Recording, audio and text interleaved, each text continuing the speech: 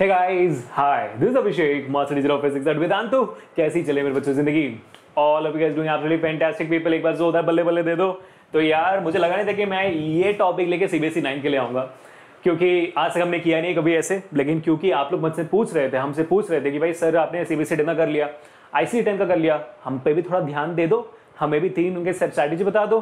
तो बच्चों भले इस टॉपिक का जो इस वीडियो का जो टॉपिक का नेम है CBSE you know nine three month strategy जो है वो एक्चुअली थ्री मंथ्स नहीं हो टू मंथ्स का है। मैं आपको बताने वाला हूँ कि कैसे दो महीने के अंदर पूरा पूरा सिलेबस कंप्लीट करना है इन दी अटमोस्ट वे कि आपके कोई भी मार्क्स कहीं पे भी कट ना सके और कैसे बाकी सारे सब्जेक्ट्स की प्रिपरेशन को अकोमोडेट कर पाऊँ तो मैं आज पूरा का पूरा साइंस लेने वाला हूँ और मैं आपको ये भी बताऊँगा कि बाकी सारे सब्जेक्ट्स को कैसे अकोमोडेट कर पाओगे अपने दिनचर्या में अपने डेली रूटीन में ताकि आपके बाकी सब्जेक्ट्स पे कोई इफ़ेक्ट ना पड़े। मैं नहीं कहने वाला हूँ कि आपको एक घंटे मतलब एक दिन पूरा पढ़ना है हर दिन पढ़ते रहना है साइंस ये नहीं कहने वाला हूँ मैं चिंता मत करो don't worry about that so today will try to understand कि uh, कैसे हम मचाते हुए एकदम बड़े तरीके से पढ़ सकते हैं तैयारी कर सकते हैं जो आखिरी तीन महीने बचे हुए हैं। तीन महीने भी नहीं बोलूँगा मैं दो महीने। मैं दो महीने लेके चल रहा हूँ तीन महीने छोड़ दो।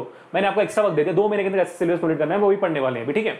Now this particular entire time table is for you know all the types of students जिन्होंने ऑलरेडी स्टार्ट कर लिया प्रिपरेशन जो अभी प्रिपरेशन स्टार्ट करने वाले हैं और uh, जो इसको रिविजन की तरह लेने वाले हैं वो सबके लिए ही ठीक है? तो people stand out right now look focused be dedicated because for the next 5 10 minutes we are going to learn something very very important.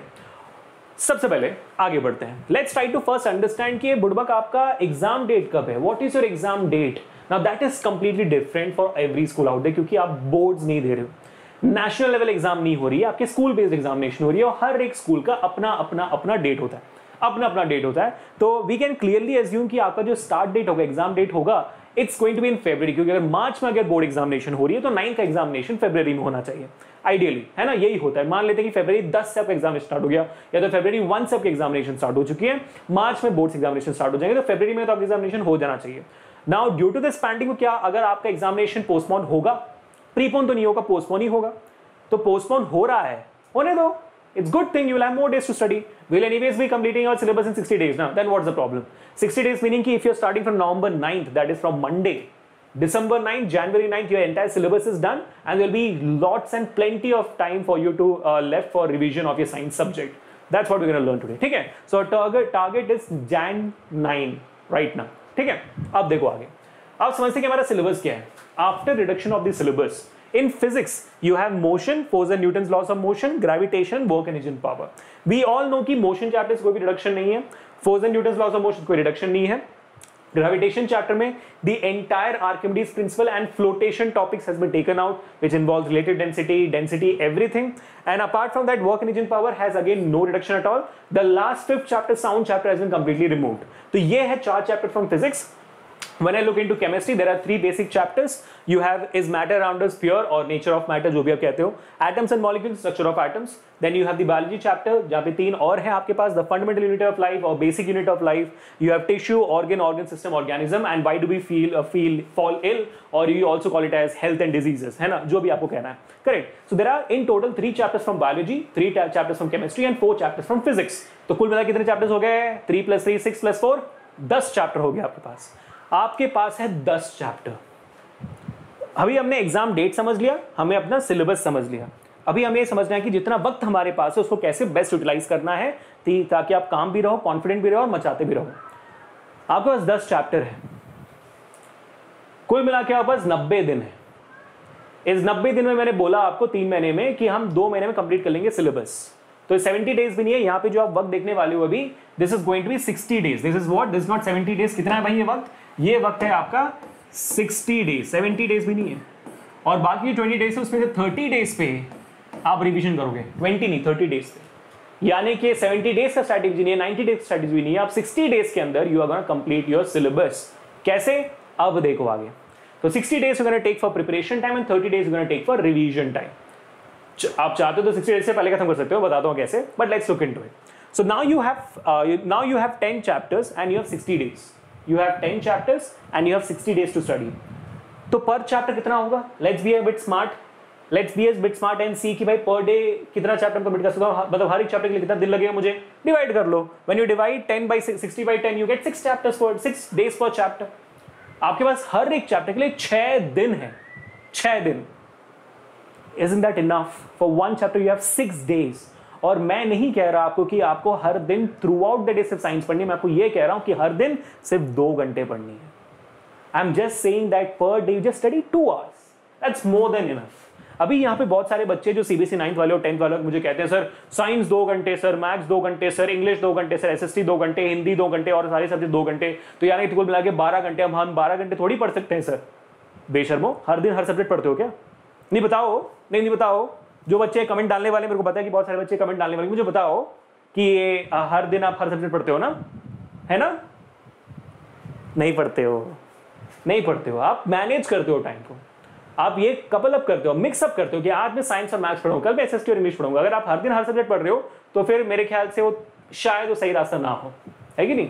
So you jumble it out you work it out you work it out is it yes exactly my point तो मैं कह रहा हूँ आपको कि two hours per day आप लो So if you're taking two hours per day, this is how your division looks like. This is how your chapter division looks like. The first two days, people, look at it very carefully. The first two days, you are going to read and understand the chapter of NCRT. NCRT को line by line read करोगे और chapter को समझोगे पहले दो दिन अगर आप बिता रहे हो, पहले दो दिन का मतलब क्या होता है? आप दो से चार घंटे बिता रहे हो और मुझे नहीं नहीं लगता कि नाइन्थ स्टैंडर्ड में ऐसा भी कोई चैप्टर है जिसको पढ़ने और समझने में दो घंटे से चार घंटे ज़्यादा लगेंगे।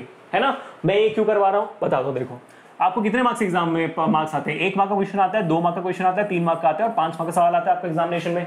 एक मार्क का, दो मार्क का, तीन मार्क का, पाँच मार्क्स का। जब आप चैप्टर को रीड करते हो अंडरस्टैंड करते हो, आपका एक मार्क्स कोई नहीं छीन सकता है बच्चों, कोई भी नहीं छीन सकता, क्योंकि आपने चैप्टर को लाइन बाय लाइन रीड किया हुआ है, समझा है। आपसे दो मार्क्स से सवाल कोई नहीं छीन सकता है, क्योंकि जो चैप्टर में है, वही सवाल ट्विस्ट करके आते हैं ना। तीन मार्क्स का शायद थोड़ा गड़बड़ पड़ेगा और पाँच मार्क्स का भी थोड़ा शायद गड़बड़ पड़ सकता है, अगर आप सिर्फ़ रीड और अंडरस्टैंड कर रहे हो, लेकिन एक और दो मार्क्स आपके सुपर स्ट्रांग हो जाएँगे। आपके एक और दो मार्क्स सुपर स्ट्रांग हो जाएँगे, तीन और पाँच मार्क्स थोड़ा दिक्कत है। अभी, उन एक और दो मार्क्स को और कैसे स्ट्रांग कर सकते हो आप? ध्यान से सुनना। जब चैप्टर रीड कर रहे हो चैप्टर के बीच में चैप्टर के अंदर एनसीआरटी में क्वेश्चंस दिए होते हैं। इन क्वेश्चंस नाम का एक छोटा सा कॉलम होता है जहाँ पे क्वेश्चन चैप्टर कर दे देते हैं हर एक टॉपिक की बात। जब चैप्टर पढ़ रहे हो ना रीड करो अंडरस्टैंड करो तभी उन क्वेश्चन को सॉल्व कर डालो। क्योंकि एक, आपका कॉन्फिडेंस बढ़ेगा, दूसरा आपकी प्रैक्टिस होगी। और इन क्वेश्चन के बीच में से बहुत सारे सवाल आ जाते हैं एग्जामिनेशन में right so this will make your one mark as well as your two mark question even more stronger your strength is increasing now very much got the idea people this is your first two days of any chapter you start moving on to the third and the fourth day this is where things get even more interesting and we focus on the three and five marks ठीक है तीसरे और चौथे दिन में दो या चार घंटे लगा के आप क्या करोगे एनसीआरटी के पूरे एक्सरसाइज को कर डालोगे उस चैप्टर का कितना सवाल होता है दस या पंद्रह सवाल होता है मेरे को लगता है कि ये दो या चार घंटे में पूरा सवाल तो हो सकता है दो घंटे मतलब एक, डेढ़ घंटे के अंदर एक्सरसाइज कंप्लीट हो जानी चाहिए और बाकी जो डेढ़ घंटा है उसमें एनसीआरटी एक्सम्पलर हो जाना चाहिए। है कि नहीं? तो तीन घंटे के अंदर पूरा एनसीआरटी एक्सम्पलर और एनसीआरटी एक्सरसाइज होनी चाहिए और जो एक घंटा है बीच में आधे आधे घंटे करके आप ब्रेक ब्रेक ले लो। चलता है इट्स ओके ठीक है? तो एक्सरसाइज और एक्सम्पलर जब कर लोगे ना, अब आपका जो ये तीन मार्क्स का है और पाँच मार्क्स का है सुपर डुपर शॉर्ट हो जाएगा। और जब एक्सरसाइज कर लोगे तो एक मार्क का, दो मार्क का दोबारा शॉर्ट हो जाएगा सुपर डुपर स्ट्रॉन्ग हो जाएगी। और एक्सम्पलर की वजह से आपका जो हॉट्स का जो केस है ना, जो आपका हॉट्स कैटेगरी है, वो भी कवर अप हो जाए। तो यानी कि आपने एक मार्क कवर अप कर लिया, दो मार्क कवर अप कर लिया, तीन कर लिया, पाँच कर लिया हॉट्स भी कर लिया। तो यानी कि सिर्फ़ ये दो चीज़ करके, यानी कि सिर्फ़ चार दिन स्पेंड करके, सिर्फ़ चार दिन पर चैप्टर स्पेंड करके, आपका दो भाई पक्का 95 प्लस आपने सॉर्ट आउट कर दिया। If you are doing this with utmost शिद्दत dedication and determination extra effort डालने की ज़रूरत नहीं है यहाँ पे। चार दिन के अंदर आपका 95 प्लस पक्का अगर आप ये चार चीज़ कर रहे हो तो। बस। Reading and understanding NCERT science and example that's it फिर आप लोग सोगे सर, ये बाकी दो दिन क्या करना है मैं अब सुनो। अब मेरी बात सुनो। हम में से हमारे हर एक स्कूल्स में, हर एक क्लास में बहुत सारे टॉपर्स होते हैं। है कि नहीं? आप में से कुछ टॉपर्स होंगे। आपके दोस्त शायद टॉपर्स होंगे। टॉपर्स बनना ज़रूरी नहीं है यहाँ पे, और मैं उस बारे में बात भी नहीं कर रहा हूँ। मैं इस बारे में ये बात कर रहा हूँ कि यार ये जितने भी टॉपर्स होते हैं, सबको, सब तो टॉप नहीं कर सकते ना। कुछ लोग शायद लक की वजह से तो कुछ चीज़ की वजह से गड़बड़ा जाते हैं। और वो चीज़ क्या, वो चीज़ है थोड़ा सा कॉन्फिडेंस थोड़ा सा मोटिवेशन अपने आप को मोटिवेट करना ही बहुत ज़रूरी है। मोटिवेट कैसे करोगे? जब आप पेपर सॉल्व करोगे। जब आप टेस्ट पेपर सॉल्व करोगे। तो आपको बहुत सारे सैंपल पेपर्स मिल जाएँगे सीबीसी नाइन के, कोई भी रेफरेंस बुक उठा लो। चलो, कोई नहीं उठाना सैंपल पेपर नहीं करना एस का बुक उठा लो, उसके एक्स्ट्रा क्वेश्चंस कर लो, है कि नहीं? लेकिन बस इतना ध्यान देना कि सिलेबस में रह कर सिलेबस से एक्स्ट्रा मत क्योंकि एस में बहुत सारी चीज़ें जो सिलेबस से बाहर है। प्लीज़ मेक श्योर कि आप वो सब करके अपना, शायद फ़िलहाल से टाइम वेस्ट ना करो, बाद में जाके जब सिलेबस कंप्लीट हो जाए, फिर कोशिश करना, फिर आगे बढ़ने की कोशिश करना, है ना? लेकिन फ़िलहाल के सिलेबस की बात करो तो सारे क्वेश्चन कर डालना। सैंपल पेपर्स के थ्रू तो कितना वक्त स्पेंड करना है? ज़्यादा वक्त स्पेंड नहीं करना है। इसमें ज़्यादा वक्त स्पेंड नहीं करना है। दो घंटे, दो से तीन घंटे आप चाहते हो। तो इसमें इस क्वेश्चन को सॉल्व करने के लिए बता दो। उससे आपका कॉन्फिडेंस बढ़ जाएगा। क्योंकि आप कोई भी टाइप क्वेश्चन भी कर पा रहे हो ना। कॉन्फिडेंस बढ़ गया। इतने सारी प्रैक्टिस तो हो गई। तो आपका जो ये हंड्रेड मार्क्स का है ना, वो तो भाई सॉल्व हो गया। प्लस कॉन्फिडेंस मिल गया आपको। क्या मिल गई भाई? कॉन्फिडेंस मिल गई। क्या चाहिए ज़िंदगी में और? क्या चाहिए ज़िंदगी में और? कॉन्फिडेंस आ गया। कॉन्फिडेंस ही सब कुछ है। तो सर, ये फिर सिक्स डे क्या करना है? बच्चों, मैंने ये एग्ज़ाम्पल हमेशा दिया हुआ है। आपको पता होगा, जब जिम जाते हो बॉडी बिल्डिंग करते हो कभी कभी रेस्ट लेना ज़रूरी होता है। चीट डे बोलते हैं उसको हम। जब पाँच दिन एक्सरसाइज किया जाता है, छठवें दिन हम चीट ले चीट चीट डे करते हो। जो खाना है खाओ, अपने बॉडी को रिलैक्स करो, ताकि आपकी बॉडी को रिलैक्सेशन की ज़रूरत होती है अपने आप को रिजुविनेट करने के लिए, अपने आप को रिफ्रेश करने के लिए और स्ट्रांगली वापस आने के लिए। आपका ब्रेन भी वैसा ही है। इसलिए तो एक टर्म होता है ना, मुझे एक ब्रेक चाहिए यार, बहुत पढ़ लिया मैंने ब्रेक चाहिए। क्यों ब्रेक चाहिए? क्योंकि आपका ब्रेन टायर्ड है, इससे आपको ब्रेक चाहिए। आपको वेकेशन पे जाने क्यों आप टायर्ड हो ज़िंदगी से? ब्रेक चाहिए।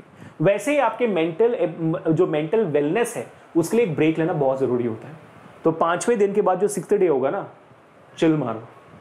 पूरा दिन चिल मारो।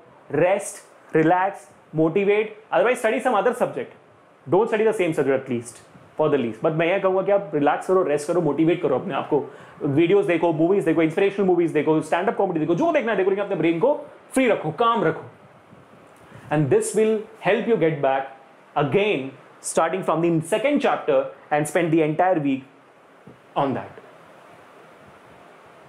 So motivation done, 100 percentage marks done, confidence done.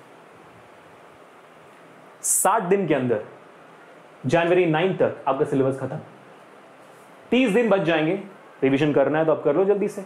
Revision कैसे करना है वो मैं आपको बताऊँगा नेक्स्ट वीडियो पे। But I really hope always enjoy this session लेकिन बच्चे, अगर कोई भी आपको कह देना, मैं हमेशा कहता हूँ टेंथ वालों को ये बार बार कहता हूँ मैं, जब कोई भी आपको कह दे ये बात, ये आकर कि नहीं हो पाएगा तुमसे, वो चाहे आपके फ्रेंड्स हो, चाहे आपकी फैमिली हो, चाहे आपके रिलेटिव्स हो, या तो आप खुद हो कि कह दो या तो अंडर कॉन्फिडेंट हो जाओ। तो हर बार खड़े उठना। सामने वाले इंसान की तरफ़ स्माइल करना। या तो अपने आप को देखकर आईने में स्माइल करना और कहना I can and I will watch me